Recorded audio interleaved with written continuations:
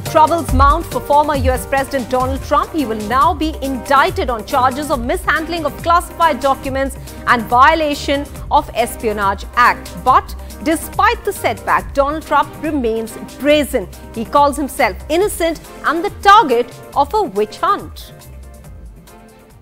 Sadly, we're a nation in decline, and yet they go after a popular president, a president that got more votes than any sitting president in the history of our country, by far, and did much better the second time in the election than the first.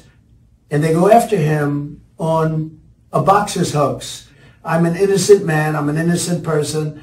Uh, they had the Mueller hoax, the Mueller report, and that came out no collusion after two and a half years. That was set up by Hillary Clinton and Democrats. But this is what they do. This is what they do so well. If they would devote their energies to honesty and integrity, it would be a lot better for our country.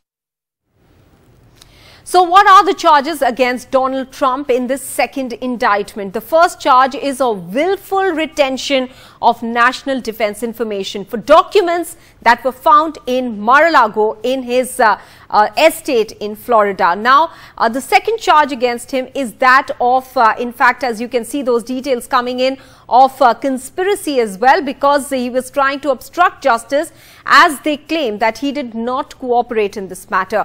Withholding a document or record, uh, corruptly concealing a document or record, these are the other two charges against him in this case.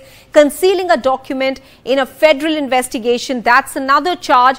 A scheme to conceal false statements and representation. So a total of seven charges against Donald Trump.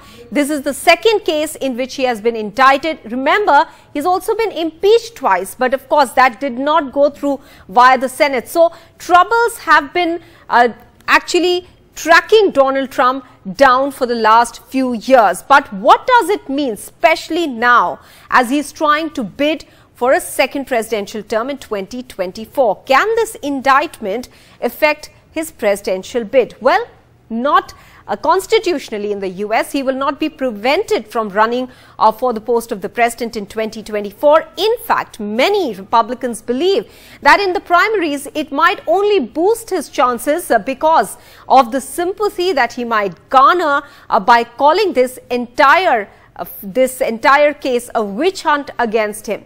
Meanwhile, there are others there are other Republicans as well who believe and who have warned that in the long run this could hurt him. Why?